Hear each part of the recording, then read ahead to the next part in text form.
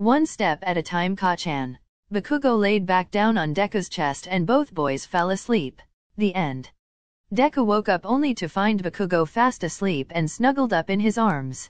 Deku slowly removed Bakugo off him and left Bakugo's dorm room Deku's thoughts time to find Todoroki.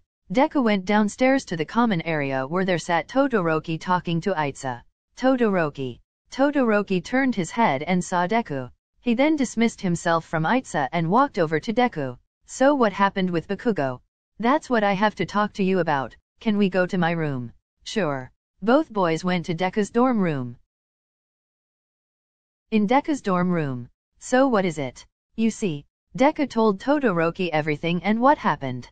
I see so what you are saying is that you want to break up with me for him. I don't want that I do love you but I loved Kacchan for years now and it's hard to choose. Well you are going to have to choose. And if I can't, then we are over.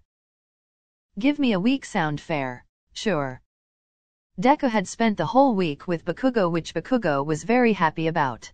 Eventually Saturday came and he then decided to talk to both of them in his room. What the hell is Icy Hot doing here? Well you see Kacchan. Deku explained everything to Bakugo.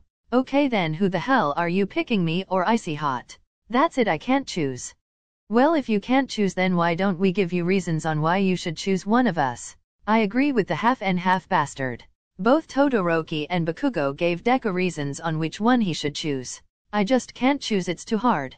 Well you are going to have to choose.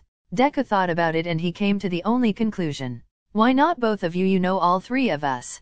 To hell with that shit. Pissed off faces. Yeah I mean me and Bakugo can't get along.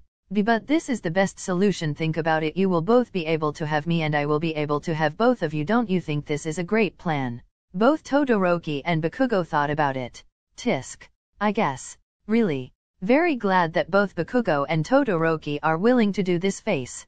Yeah sure. I hate doing this shit.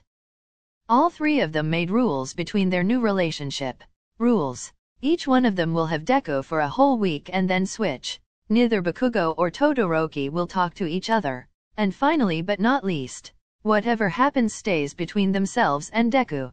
The whole class slowly started to suspect what was happening between all three of them and the first one to say anything was of course, Mina.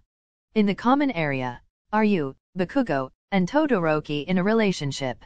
Mina asked Deku. Hehe. Is it that noticeable? It took us some time but we caught on. You guys don't find it weird or you know, Disgusting. Everyone shook their heads no if you guys are like that then we won't judge it really isn't our place. Deku smiled and started to cry happy tears. You guys are the best. Emotional happy tears. Hell yeah we are. Kirishima doing his super supportive and very manly arm. And so that's how Todo Baku Deku was born. The end.